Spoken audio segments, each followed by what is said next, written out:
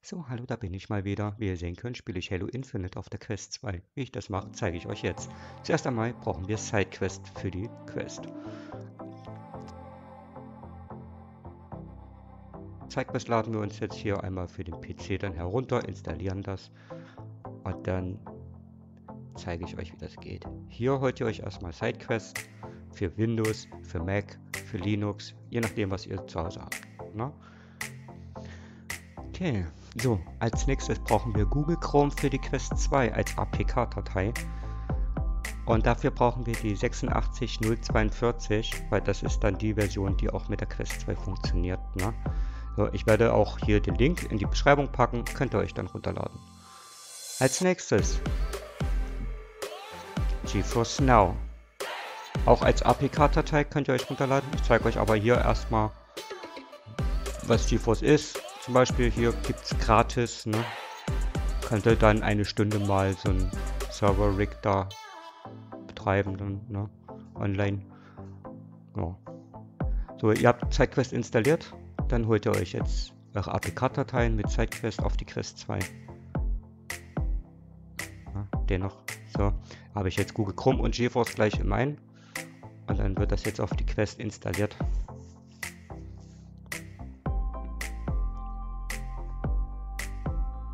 Abgeschlossen.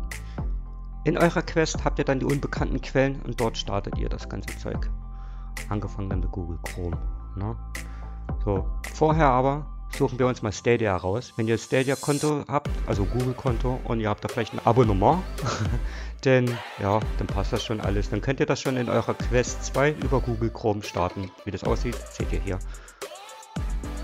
Ne? Und dann könnt ihr ja beispielsweise Spiele wie Destiny einfach mal ausprobieren, ne? Mit der Quest 2. Achso, und noch anzumerken ist, ich habe den Xbox Series Controller, ihr könnt auch euren Xbox One Controller per Bluetooth mit der Quest gekoppelt, ne? Damit das überhaupt funktioniert. Wird auch erkannt dann vom Browser, also hier von Stadia, genauso wie auch von allen anderen. So, jetzt habe ich hier mein, mein ähm, Spieler da. Hab noch eben die Umgebung gewechselt. Ja, und dann können wir auch mal reingucken, wie das Ausbruch, wie das so läuft. Also es waren minimale Latenzen schon vorhanden, aber geht schon. Ihr habt bestimmt schon mitbekommen, dass ich hier gerade im Voice-Over bin und nicht gerade wie sonst üblich alles währenddessen mache. Lag daran, weil der Spielsound nicht mit aufgenommen wurde. Okay, ja, das war soweit erstmal Destiny. Wir können aber auch einfach, ja weiß ich nicht, Dirt 5 spielen. Einfach mal da ein Rennen fahren in der Quest 2. Das Coole ist, worauf ich eigentlich auch hinaus will, es gibt ja bestimmt einige Leute von euch da draußen, die haben keine Spielkonsole, weder eine Playstation noch eine Xbox und vielleicht auch nicht mal ein Gaming-PC, ne? Aber ihr habt vielleicht eine Quest zu Hause. Und wenn nicht unbedingt eine Quest, ihr könnt das auch mit eurem Smartphone machen, ne? Ähm, ja, gewonnen. Juhu! so, kommen wir mal zum nächsten. Xbox Cloud Gaming. So, dann sucht ihr euch erstmal Xbox Cloud Gaming. Ne? Und wichtig, nicht gleich den ersten anklicken, sondern da unten, wo Play steht. Ja, guckt, da steht Play. Die müsst ihr dann anklicken. Da müsst ihr euch auch mit eurem Microsoft-Konto anmelden und ihr müsst ähm, Game Pass Ultimate Kunde sein. Sonst funktioniert das nicht. Ne? Also Game Pass Ultimate 12,99 im Monat. Kann man ja mal machen. Ja, und guck, jetzt kann ich Halo Infinite auf meiner Quest 2 zocken. Aber hier auch, hier muss ich sagen, es läuft über Google Chrome, daher hat man auch Input-Lag. Ne? Also läuft er nicht ganz so gut. Da bräuchte man dann vielleicht doch die Xbox-App. Muss ich dann nochmal testen, ob das mit der Xbox-App auf der Quest auch funktioniert. Ob die sich überhaupt dann installieren lässt, ob ich mich da melden kann und so. Man kann auch Halo 5 spielen, wie man sieht. Ne? Ist auch eigentlich nur ein reines Konsolenspiel, Halo 5. Gibt es nicht für den PC.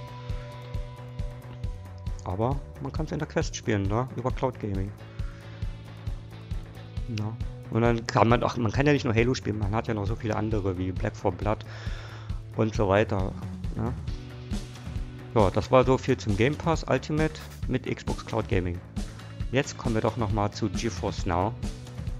Äh, Google ihr euch. Also ihr habt ja die App installiert, zum Beispiel. Ich zeige auch hier nochmal GeForce Now, wie das gleiche von vorhin.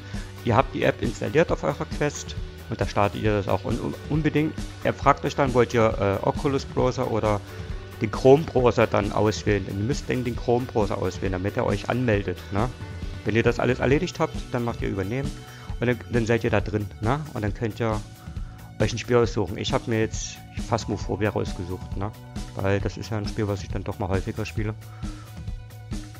Leider nicht in VR, ne? den Zahn muss ich euch leider ziehen. So, dann müsst ihr euch noch vorher einmal anmelden. Das Nervige ist immer, man muss jedes Mal sein Passwort angeben. Ne, obwohl ich gespeichert habe. Aber naja, habe ich übersprungen. Geht ja keinem was an. So, ihr seid in eurer Bibliothek und ihr habt nur dieses eine Spiel da drin, ne? Solange ihr da GeForce Now benutzt. Oh, Phasmophobia. Ja, und seid ihr in der Lobby zum Beispiel jetzt bei Phasmo. Und das Coole ist, der, der Spielfortschritt, der wird gleich übernommen, so was ihr da auch zuvor auf dem PC oder sonst wo gemacht habt, ne? Und dann könnt ihr da euer Haus gehen, den Geist suchen, Sachen ermitteln. ich finde das ganz cool.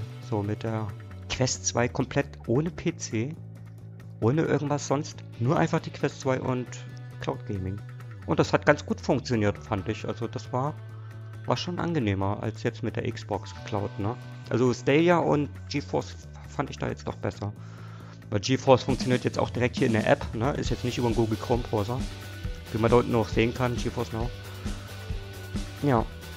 Ihr könnt aber auch Sachen wie beispielsweise Euro Truck Simulator spielen, ne? Weil es ist auch ein Spiel, was ich ganz gerne mal spiele.